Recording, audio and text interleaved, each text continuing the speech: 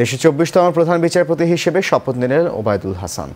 সকাল এগারোটায় বঙ্গভবনের দরবার হলে তাকে শপথ পড়ান রাষ্ট্রপতি মোহাম্মদ শাহাবুদ্দিন। এ সময় মন্ত্রিপরিষদের সদস্যবৃন্দ, আপিল বিভাগ ও হাইকোর্ট বিভাগের বিচারপতিগণ উপস্থিত ছিলেন। গত বারো সেপ্টেম্বর দেশের চব্বিশতম প্রধান বিচারপতি হিসেবে ওবায়দুল হাসানকে নিয়োগ দেওয়া হয়। প্রধান বিচারপতি হাসান ফয়েজ সিদ্দিকী অবসরে গেছেন পঁচিশ সেপ্টেম্বর।